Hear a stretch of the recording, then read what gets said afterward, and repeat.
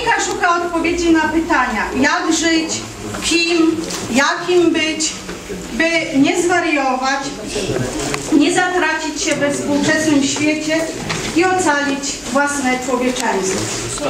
Nie wiem, czy Monika się z tym zgodzi, ale zapraszam Monikę ze swoim wierzem. Słońce, które nie chce się przesunąć. Do Ciebie, słońce, podnoszę swe ręce, bo nic innego nie jestem w stanie. I zachowaj od złego wszystkie biedronki uwikłane w zbrodnie, wszystkich ludzi pomylonych z dobrem. Do Ciebie, słońce, wołam przez noc. Długą, niczym korytarzem marzeń udaremnionych przez sekretną magię umysłu inteligencji. Niechaj wszyscy inni marzą o nieporadności, dziecinnym stanie czy filiżance kawy. Ja tylko, ja tylko pragnę, by osłonił mnie ten Pan przed burzą i morderczą siną narodu. Herde. Gubiłam się w świecie złudzeń. Niemal zagodziłam dietą z marzeń. Tymczasem bez żadnej cliwości, jednym głośnym chichotem losu zbudzono mnie z bajkowego snu. To ja. Stoję u bramy raju, zamkniętej na klucz, zgubiony, podartej sukni codzienności, splamionej odwagą i strachem, niepokonana i bez zwycięstw. Przepasana prześwitującą stęgą nadziei, beznadzieję, starczą wiary na przedemnie. Czekam, może jednak powstaną. Janusz Kapuściński, poeta dystansu, ironii, autoironii, dyskretnego humoru i pogłębionej refleksji. Zaskakuje wielością i różnorodnością tematów, kontekstów, problemów i rozstrzygnięć językowych. Posługuje się aluzjami literackimi, historycznymi i filozoficznymi, które służą do opisania skomplikowanej rzeczywistości lub wyrażenia ukrytych sensów. Zapraszam. Zapachy niespełnionego lata. Czytam. Jeśli ten świat Ci nie odpowiada, wymyśl sobie inny. Wymyślam. Jeśli ogłasa drzewa z resztek życia. Wiatr na oślep zamiata pył i suche liście. Jeszcze z różnych zakamarków sączyły się zapachy więdnąc- więdnącego lata. Patrzyli na nas, jakbyśmy byli personifikacją czasu albo życia w świecie równoległym, tak bliskim, a jednak nieosiągalnym. Ich życie kruszyło się pod brzemieniem niespełnionych marzeń. O kulach, na wózkach, z protezami. Przybyliśmy na ich zaproszenie, my i oni, maturzyści. Mogę pożyczyć wiarkę, to czytana. Dobrze. Lękam się, kim jestem? Lękam się mroczności w sobie jak dziecko, co przed swym cieniem ucieka. Jestem równocześnie więźniem i więzieniem własnym. Duszą roztańczoną w gorsecie przyciasnym, jak półmrok, zewsząd otoczony lasem, jak zmierzch zawarty we mgle, jak gwiazdy potopione w studni głębokiej. Stale stykam się z mrokiem, ale niosę w sobie jasność jak blask słowa, co nigdy nie blednie, w niedzielę ani w dni powszednie, cichuteńkie, nie zasłaniające mnie sobą, gdy rozmawiam z drugą osobą. Choć odczuwam swą małość i ograniczenia, z nim przy mnie pokornieje ziemia. Kim jestem? E, Pani Joanna Kłaczyńska to poetka ulotnych chwil, barw, smaków, subtelnej zmysłowości, filozoficznej zadumy nad światem, pełna kobiecej wrażliwości i przewrotności, przemieniająca szarą codzienność w piękno, optymizm i nadzieję. Myśli zamyka w krótkich, przemyślanych, nastrojowych, czasem y, miniaturowych wierszach białych. I zapraszam Pani Joasiu. Przeczytam pierwszy wiersz. Koniec sierpnia. Lato żegna mnie nad łociami. Nad żółtymi łanami miodna muzyka. Suche trawy pokrywają zieleń. Gałązkami srebrnymi drży akacja trącana wiatru palcami. Ciepły namiot nieba nad polami i wiersze, których się nie zapomina, bo jest tak, jak poeta napisał, mimozami jesień się zaczyna. Dziękuję.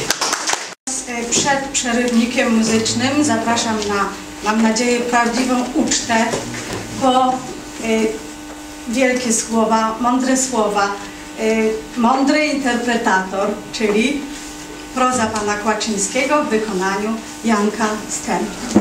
To jest opowiadanie sprzed, e, no, z roku siedem- e, 70. A więc początek w prawie słowa pisanego pana Włodzimierza. Jedno z pierwszych moich opowiadań. Jest to fragment właśnie tego opowiadania pod tytułem Konkury.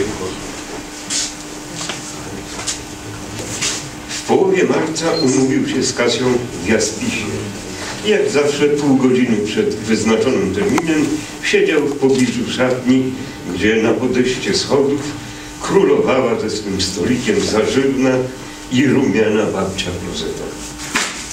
Przechodząc w głąb trzeba było zawsze przesunąć się obok tego jej biurka wyposażonego w talerzyk na monety i stosik oszczędnie udzielanego papieru toaletowego.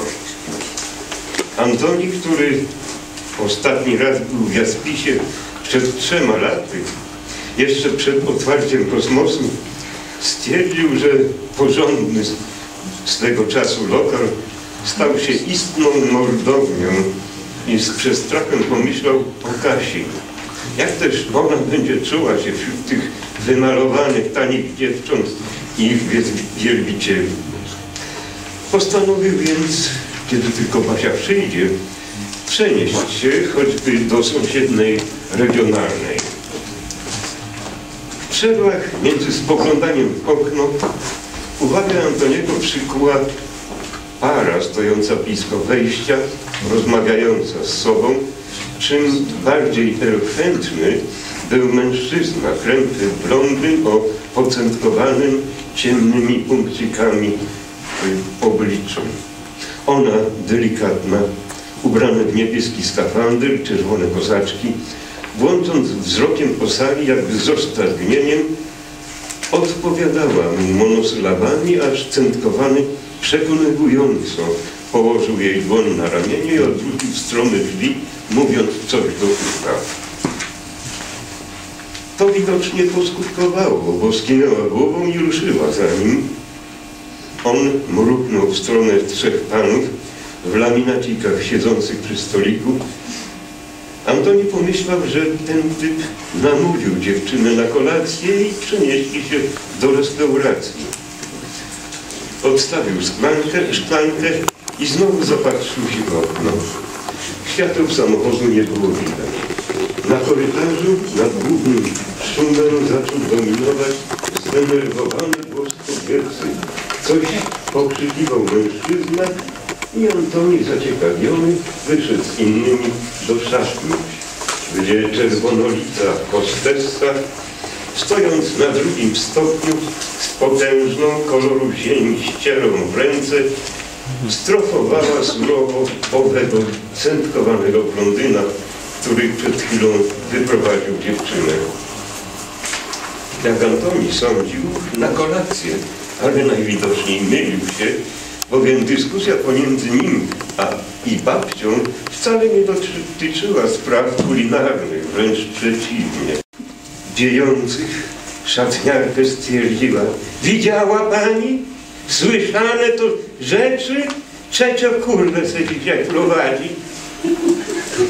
Ta jasność postawienia sprawy zupełnie wytrąciła z równego jak i centkowanego, który nadmienił, trzęsąc się ze złości o strasznych dyrektorach, jakich się wszędzie teraz narobiło, przy czym wezwał babcię do wzmożenia wysiłku, wołając wielkim głosem do roboty stara, a nie tu gościom w portfel zaglądać. co było zbytnią metaforą, zauważalną nawet przez konsumentów będących w stanie silnego stresu alkoholowego. Następnie przeszedł do konkretów, proponując kobiecie wrzucenie nieproduktywnej postawy posagi i przejście do niego, jak się wyraził, węgiel do piwnicy zrzucać, co będzie jej godnym zajęciem. Kwiecista riposta babci rozpoczęta retorycznym pytaniem, a miał pies chłopę z koninem, chłopę z koninem? W części środkowo-obrazowo i dokładnie poruszająca zagadnienia drzewa genealogicznego, romantycznego blondyna, a zakończona precyzyjnym wnioskiem. Jakbyś miał piwnicę, to byś se tam flądry sprowadzał, a nie do porządnego lokalu z dancykinkiem. Zakończyła sukcesję, podnosząc w górę ścierę, co widząc centkowany dał nura w tłum. Przeryw muzyczny, niespodzianka muzyczna.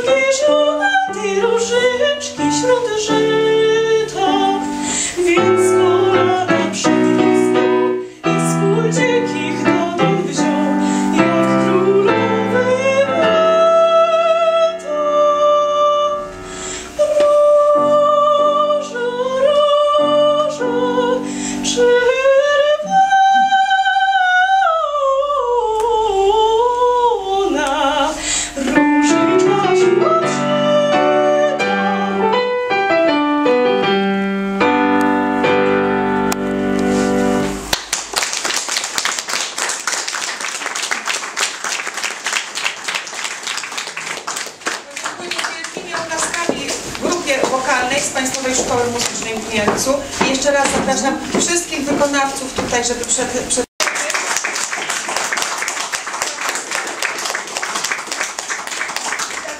Zazwyczaj dziękowałyśmy z koleżanką e, różyczkami. Chyba na początku roku różyczek nie mamy, ale są nasze biblioteczne kalendarze z serdecznymi życzeniami, żeby Wam pokazywały same piękne, pogodne i szczęśliwe dni.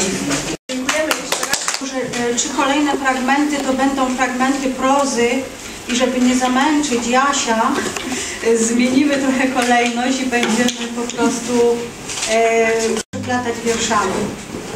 Czyli teraz będzie e, Maria Kusek, Maria Kusek zaprezentowała się w środowisku, wydając zaczarowany balonik opowiadania dla dzieci. I tutaj mamy jeden mały fragment takiego opowiadania pod tytułem o dzieciach, które szukają nowej mamy.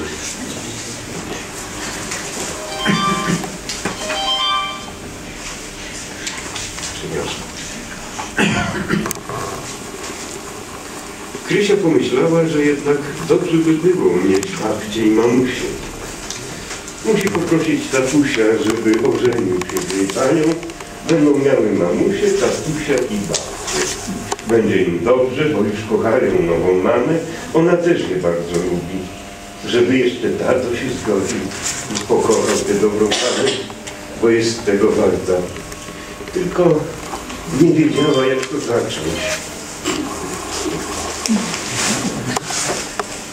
Tato, możemy naciskać, gdyż oboje są rozbitkami życiowymi, którym się nie udało. Boją się, żeby drugi raz nie przeżyć takiego nieszczęścia. Czas pokaże, co będzie. Los ich ciężko doświadczył, ale teraz może ich wynagrodzi za to wszystko. I dodała na głos. Ja już mam was, drogie moje wnuczki, jestem szczęśliwa. Czas płynął i nic się nie działo. Dopiero z końcem roku szkolnego oboje postanowili wziąć ślub i całą rodzinką z dziećmi i babcią wyjechać na wczasy. Toż to była radość. Wszyscy byli zadowoleni, najbardziej dziewczynki cieszyły się z nowej mamusi. Czyli ty też byś tak postąpił jak Krysia i chciał mieć nową mamusię dla siebie i siostrzyczki Basi? Czy Krysia dobrze zrobiła, że namawiała tatę do orzenku? Przemyśl to, a teraz papa, dobranoc. jest z nim Grzegorz Maziarski, chyba nieobecny. Tak? Nie mam No więc przeczytam. Grzegorz Maziarski. Promień słońca. Dotykasz mnie jakże ciepłymi palcami. Rękę swą długą na czas Narysowana była wielka, tańcząca para. Postacie były stylizowane, tak jakby zdjęte z jakiegoś logo lub proporczyka, zajmowały około półtora metra. Mamo, kim ta babcia była? spytała Lara i podeszła do kąta, w którym czas na prezesa. Zbigniew Halski. Ale spokojnie. Ja tu mam do odczytania jeszcze, to co myślę. Poeta o wyjątkowej wyobraźni poetyckiej. Twórca wyrafinowanych wierszy o różnorodnej tematyce, których esencje stanowią misternie tkane obrazy poetyckie, wymyślne metafory, liczne odniesienia do mitologii, literatury, Biblii i innych dziedzin sztuki. Zbyszek to poeta niespokojnego ducha i rozdrganego serca, budujący w wierszach azyl i schronienie przed nie zawsze przyjaznym światem. Nie wiem, czy się zgodzi z tym, co powiedziałam, ale proszę, żeby przeczytał wiersz. Dziękuję. Proszę E. To będzie wiersz nie lada sztuka, ale to dziś powinien napisać nie lada sztuka dziś. Ale no dobrze. Napisałem go już e, trochę e, sporo czasu temu. Tak sporadycznie udaje mi się, dzisiaj należało powiedzieć, odnaleźć ten ośpiewany las. Jestem cieniem dębu. Z rzęs poranka szczepuję kolorowy sen świata między wersy codzienności. Napinam bicepsy gałęzi e, na wszystko, co przyniesie nowy kolejny dzień. Gdy ukryty wśród gałęzi cięcią mm, uderzy mocno w pień mojego ciała, a ostrze wyobraźni ominie polanę i rozbłysną pełną krasą przepiękne słowa nowego wiersza, w których ukryję zasuszone źdźbło swojego wzruszenia.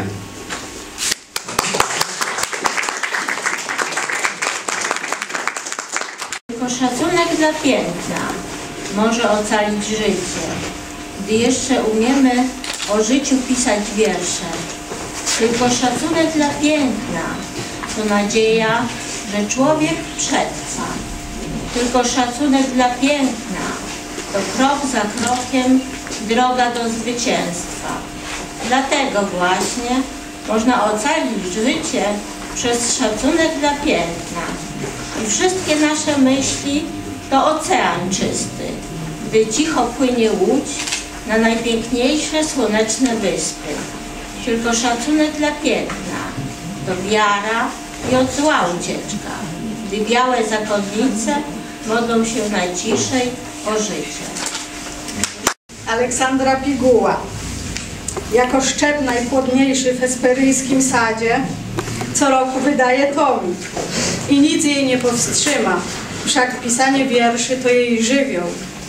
Formy poetyckie zamyka refleksje wynikające z różnych zdarzeń, przeżyć, osobistych doświadczeń, spotkań z ludźmi. Tworzy poezję nastrojową, klimatyczną, łatwą w odbiorze, tym samym bliską czytelnikowi. Proszę Ole. rachunek. Judasz zdradził za 30 srebrników. Jakby Bóg nie był więcej chleba, za jaką cenę zdradzisz mnie, czytelniku? Odejdziesz w świat banalnych słów, przyziemnych spraw. Rachunek za miłość wystawi nam życie. Za jaką cenę zatańczysz walca do kresu dni? Za jaką cenę zmysły rozkołyszesz nim odbijany. Krzyknie ktoś i mnie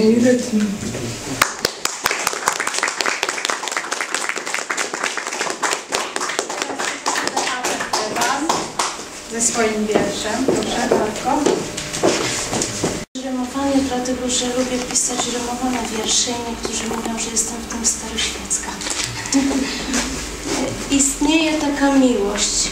Istnieje taka miłość głęboka, oczekiwaniem serce wypełnia. Jeszcze nie widzi, a już kocha i duszę dumą przepełnia. Istnieje taka miłość prawdziwa, co patrzy w oczęta zawsze szczere, co delikatne rączki w swoich skrywa i wybaczyć potrafi tak wiele. Istnieje taka miłość radosna, co rozkwita w uśmiechach na twarzy, pocałunkami pachnie jak wiosna i pozwala dziecku ciągle marzyć. Istnieje taka miłość zniewalająca, co większej już na świecie nie ma, co wczoraj, dzisiaj, bez końca. Taka miłość matki do córki i syna.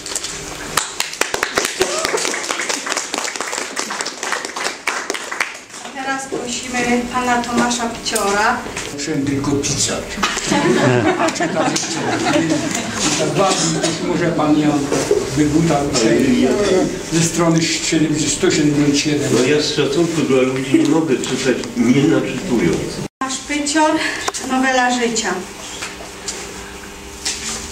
Napisał ktoś taki wiersz, że życie nowelą jest. A czy przyjazną, czy wrogą, zależy jak trafi i na kogo. W życiu różne są przypadki. Ktoś ma żywot piękny, gładki.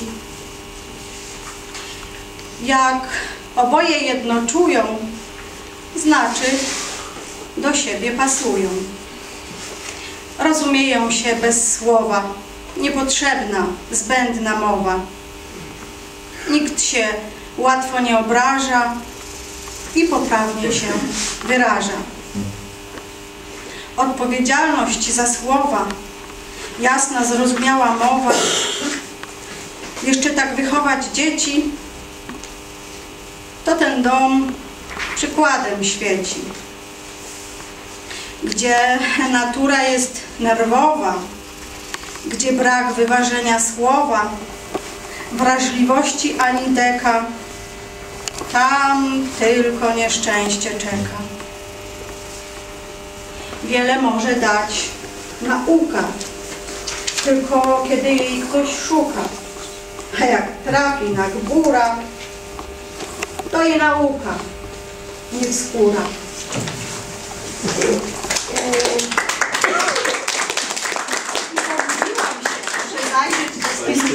Cyzik.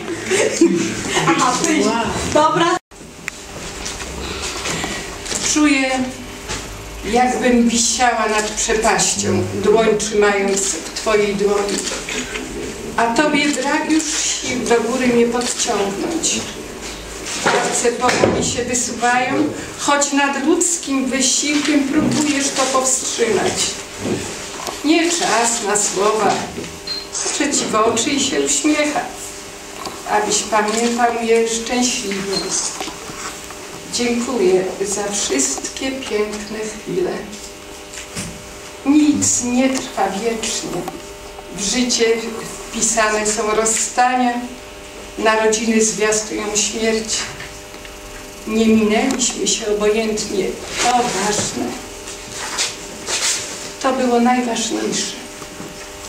Jak ptaki na niebie zostawiamy ślad w sercach. Czegoż chcieć więcej niż żyć jeszcze w kimś chwilę po śmierci. Z tego co widzę, to teraz została tylko poezja i zapraszam e, pana Dawida Rzeszutka ze swoim wierszem. Ja Uciekł przeczytam był, za niego, bo mnie uciekł prosił. był. Na tej stronie. Autor, Autor okładki. autor okładki. Współczesnej Monalizy. Tak, współczesny.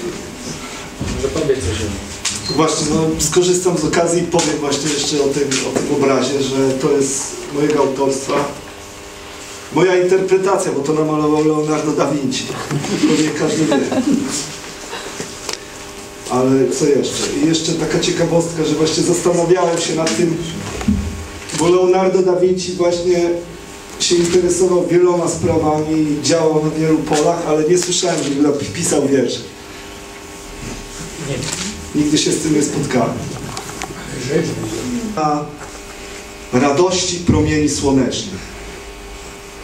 Są także tyczki podtrzymujące winorośl, jak aniołkowie dusze swych wiernych. Noc swym zapachem przesyca grona i noc ta spokojna pilnuje.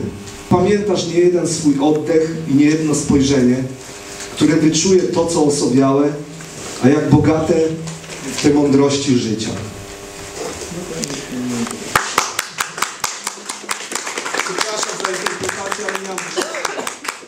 To był bardzo ciężki wiersz. Wszystkie ciężkie, prawda? Także teraz Trudno wybierać, ale wybrałem stosunkowo w stosunku do swojego wieku. Jesienna etiuda.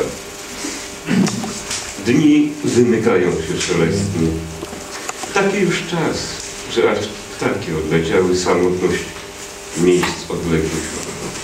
Oto liść pełen rzek zmarszczek, gwiazd spadających jak szept. Ktoś wie. Specjalnie. Oto liść pełen zmar- rzek zmarszczek, gwiazd spadających jak szept. Z księżycem chłodu, rosy zebranej o świcie, trwasz jak drzewo, zastygle w zapachu tej ziemi. Czekasz oddalenia za drugą bramę wiecznego słońca, do której wędrowanie kartek zapisanych wyznacza wiatr.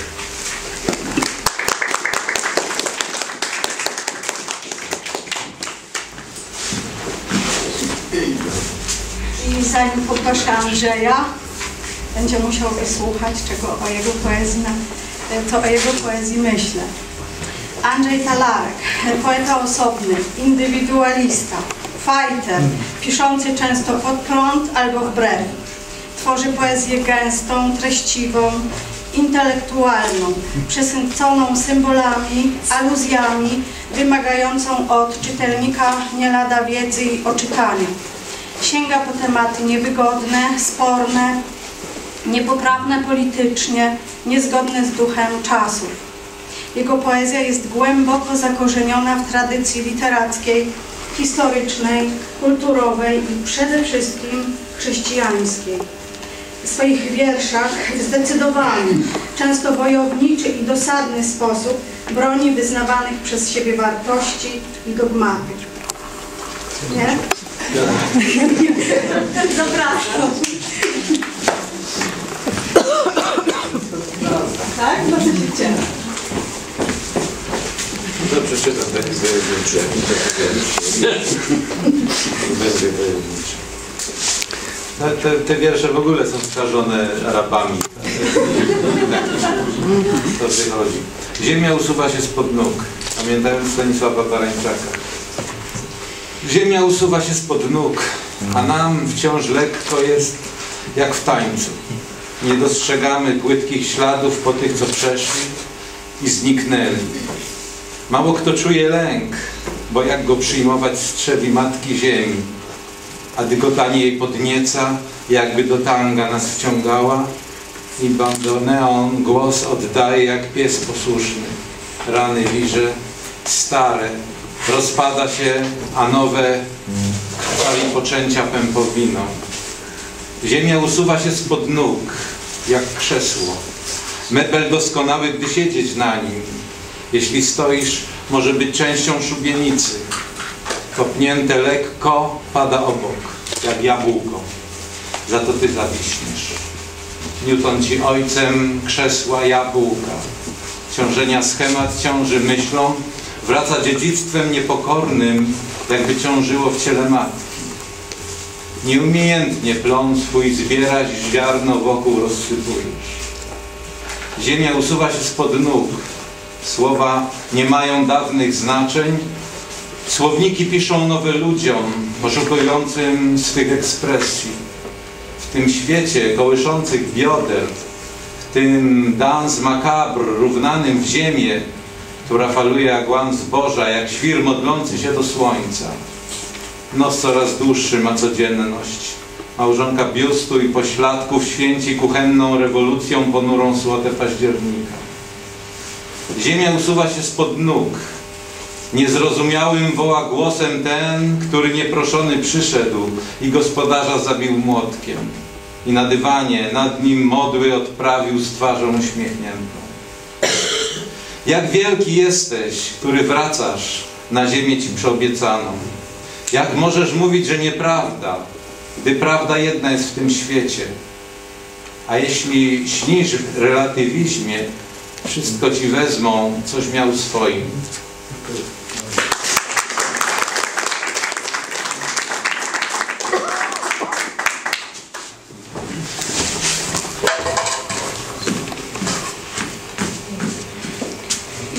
Trojanowska.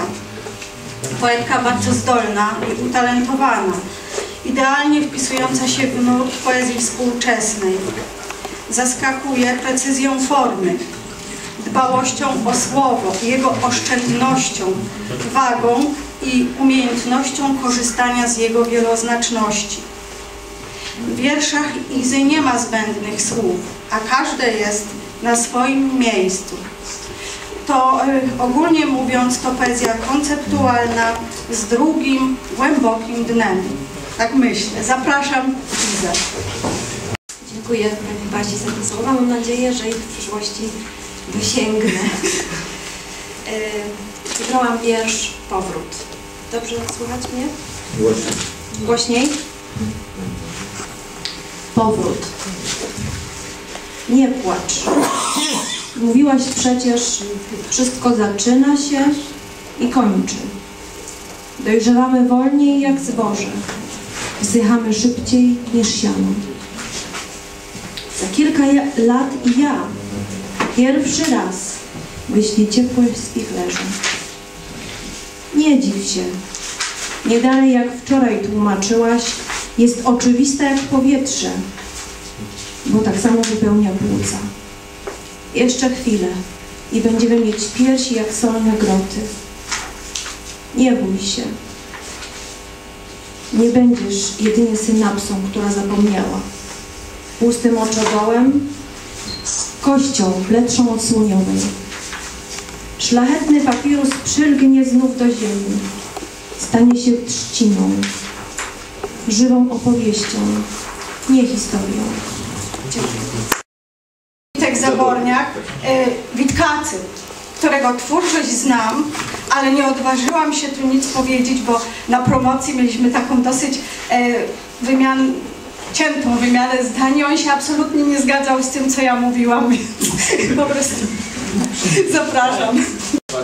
Szczególnie e, grupie literackiej Słowo, jak i Towarzystwu Miłośników- Ziemi Greckiej za to, że mogę gościć w tym roczniku, za co jestem bardzo wdzięczny, dziękuję.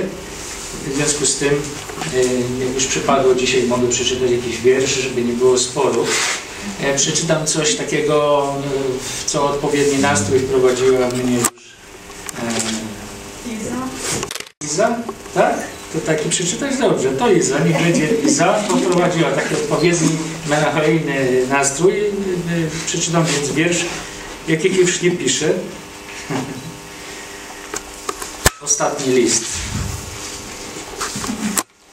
Przecież wiesz, że miłości tej prostej, która żyje nadzieją, nie zadowoli ucieczka w ogłupienie. Czasem marzenia o odbudowie domu są fikcją. Czemu służyła mantra, skoro tylko jedno z nas wierzyło w to, co ma nastąpić? Oddałbym wszystko w zamian za amnezję. Nieproszona pamięć jest niczym bezlek. W pokojach głucha cisza. Umarły wszystkie widoki, nawet te za. Każdy kąt zapowiada zmowę z Tobą. Wskazuje mnie na banicję. Co mogę powiedzieć, żeby nie było absurdu? Obwiniać erozję murów, które wznieśliśmy każde za sobą. Stałem się samotnym kultrem, bez wiatru, żaglach i portu. Posiadłem do mnie liście. Dziękuję bardzo.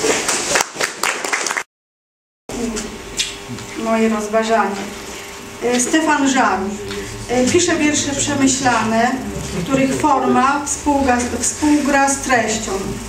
To poezja klarowna, logiczna, oszczędna, nasycona sensami.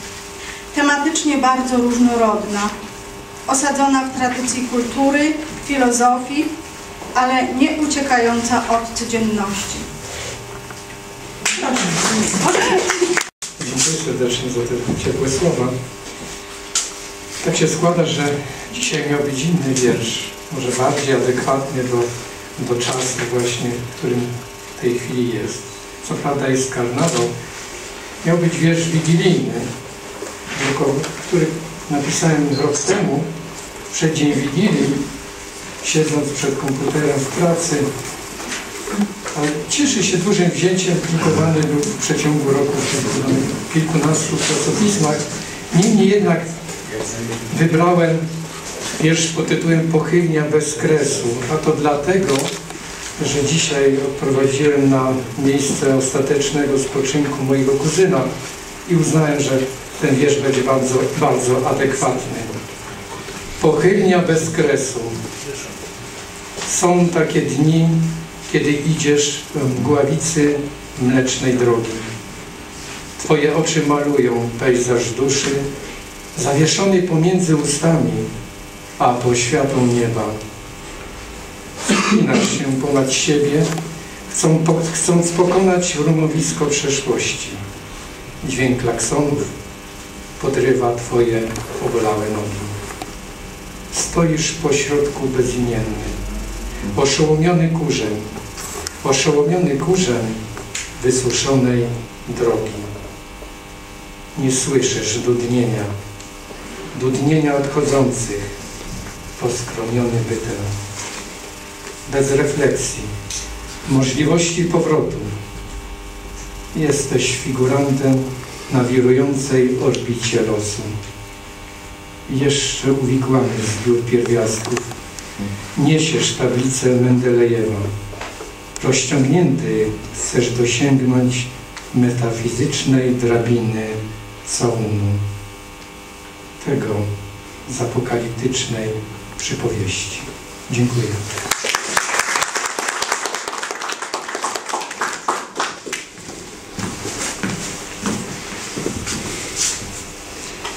Elżbieta Żuchowska-Pezda pisze wiersze kreatywne, swoistym dla siebie stylem, y, w którym znajdziemy zarówno powagę, jak i żart i ciepłą ironię. Z kobiecą wnikliwością i ścisłym umysłem w sposób niemal malarski opisuje świat i zachwyca się drobiazgami, szczegółami, na które inni nie zwracają uwagi. Jej poezja zaraża optymizmem i pozytywną energią. Zapraszam Elę. Bardzo bardzo dziękuję. Pozwolę sobie na wiersz, y, który y, w pewnym sensie kończy artefakty 4 y, i zaczyna artefakty 5. Moje 2.0. NASA poinformowała mnie, że 1400 lat świetlnych ode mnie odkryła Keplera 452b. Jest skalisty, korzysta z ekosfery swojej gwiazdy, ma gęstą atmosferę. Na jego powierzchni pływa woda i prawdopodobnie tętni życiem. Odpowiedziałam, mm, że ja też niedawno odkryłam bliską mi planetę. Jest łagodna, krąży wokół swojej gwiazdy. Istnieje tylko w ciepłej atmosferze. Jest pełna wulkanicznej energii i planów na przyszłość. Sprawdziłam, że do EŻP 2.0 jest znacznie bliżej niż do Keplera 452b. Zamierzam w związku z tym e, na nowo ją eksplorować. Informuję, że właśnie wyruszam. Dziękuję bardzo.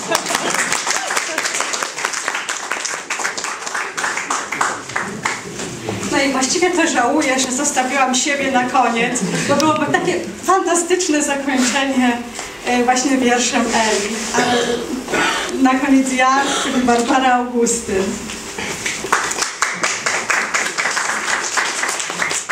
Kiedy? Od kiedy wiem, że zawsze i nigdy znaczy to samo, inaczej podchodzę do zmywania makijażu z nieznanych pejzaży. Błędy wymowy, powielanie szablonów zostawiam na wyspie, bez opieki psychoterapeutów i gęstych krat. Nie chodzi o chłód, a puste naczynie po konfiturach wylizywanych wskazującym palcem. Odbite na kamieniach cienie, ich linie. Budzenie się w środku wilgotnego snu. Przesiewanie piasku. Ołówek zastrugany pod złym kątem krzywo znaczy powrót do źródła. Kiedy uwolnimy się z pozorów, wtedy do Ciebie napiszę o pudełku rozciętym ostrzem niepokoju, o uczuciu pustki przy butelce whisky, o samotnym śniadaniu nad klifem. Jeśli nie odpiszesz, słońce niewiele straci na zapadaniu się w oceanie. Kilka brakujących słów do skrabli nie zaważy na grze kreślonej palcem na horyzoncie. Dziękuję bardzo.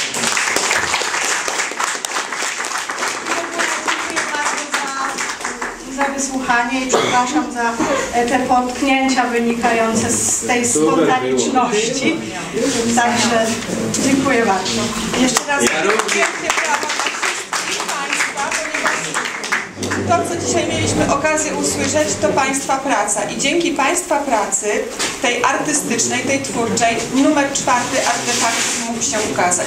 Gratuluję bardzo serdecznie komitetowi e, redakcyjnemu i wyrażam wielki szacunek dla ciężkiej pracy redaktorowi naczelnemu artefaktu numer czwartego. I jeszcze raz bardzo jestem, e, cieszę się, że artefakty numer cztery ujrzały światło dzienne. I do Pana Prezesa zwracam się z prośbą o przekazanie egzemplarzy do zbioru Miejskiej Biblioteki Publicznej w Mielcu. Myślę, że ta cała dzisiejsza impreza e, e, no, posłużyła tylko jednej e, dobrej sprawie naszej promocji.